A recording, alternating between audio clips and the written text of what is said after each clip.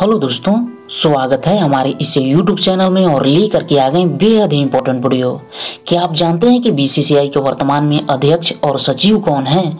यदि नहीं तो प्लीज़ वीडियो में अंत तक बने रहें। तो यहाँ पर बात करेंगे कि बीसीसीआई के वर्तमान अध्यक्ष कौन है। तो बीसीसीआई के वर्तमान अध्यक्ष हैं सौरव गांगुली। जैसा कि आप फोटोग्राफ में देख सकते हैं कि ये रहे सौरव गांगुली। इस बात को हम ये भी कह सकते हैं कि बीसीसीआई के वर्तमान में प्रेसिडेंट कौन है तो सौरव गांगुली। ये बीसीसीआई के उनचालीसवें अध्यक्ष हैं और ये तेईस अक्टूबर दो हज़ार उन्नीस से बीसीसीआई के अध्यक्ष हैं।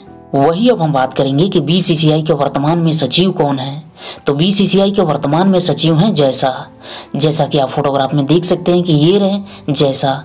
इस बात को हम ये भी कह सकते हैं कि बीसीसीआई के वर्तमान में सेक्रेटरी कौन है? तो जैसा। ये 24 अक्टूबर 2019 से बीसीसीआई के सचिव हैं।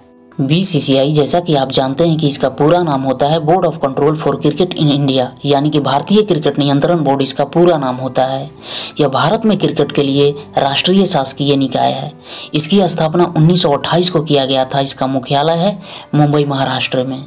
तो पूरा उम्मीद है कि वीडियो पसंद आया होगा। प्लीज़ लाइक करें शेयर करें और चैनल पर नए हैं तो प्लीज़ सब्सक्राइब करना ना भूलें।